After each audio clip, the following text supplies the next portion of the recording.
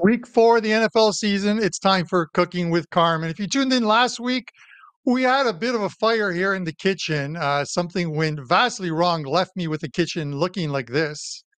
Yes, but we've repaired it all week. We've got five plays up for you this week, and hopefully we can do a lot better and get some of those Michelin stars. If you like the content here at WagerTalk TV, do us a favor and hit that subscribe button. 172,000 subscribers and growing each and every day. We're trying to hit that 200K mark, and you guys can help us. And then drop a like uh, or a comment in the comment section. Let me know what you think of this week's plays. And all right, let's uh, get this started. Uh, we're going Houston Texans.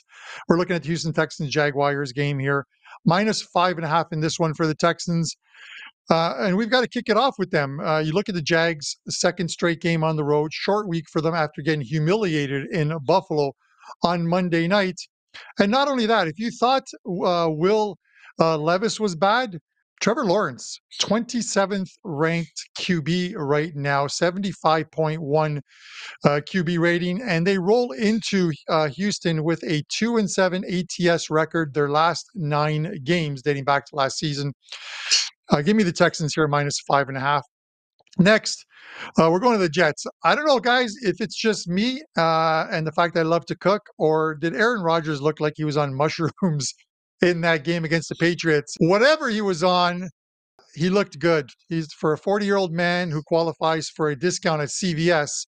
He was slinging it, and uh, they were winning. That defense looked extremely good. I don't like uh, the fact that uh, Nix has to go on the road again, looking to for a second consecutive upset.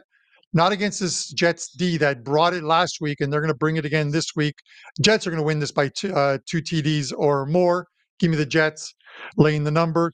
San Fran, well, you talk about D's that didn't show up. They might have been stuck in that LA traffic, the Niners defense.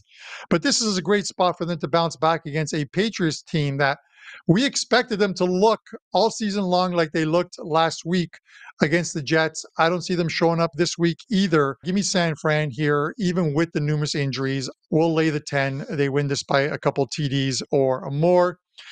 All right, uh, we're heading to Vegas for this one, guys. We're really roll, rolling the dice on this one. We're taking Cleveland plus, do, uh, plus two on this one.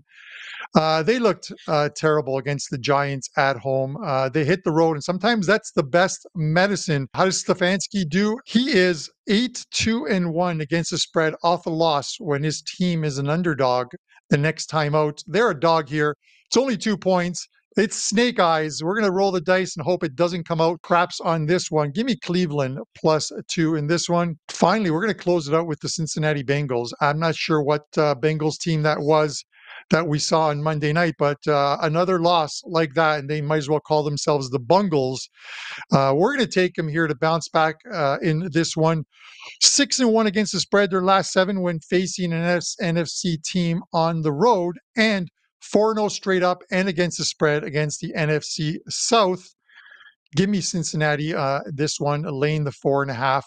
Those are your five plays, guys. The Texans, the Jets, San Fran, Cleveland, and Cincy. It can't possibly be any worse than last week. We're going to bounce back in a big way. Let's get a 5 and 0 day. I'll be happy with 4 and 1. Remember to hit that subscribe button, drop a comment in the comment section below, guys, and uh, we'll see you for week five, regardless of how this week ends. But the kitchen's under repair, and we're going to bounce back in a big way.